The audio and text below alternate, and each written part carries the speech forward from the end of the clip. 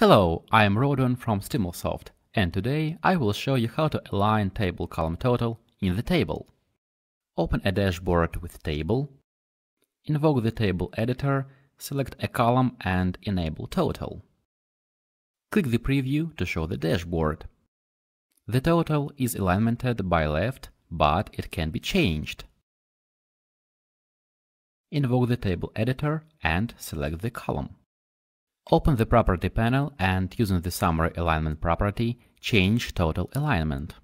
You can set the summary alignment to left, center or right.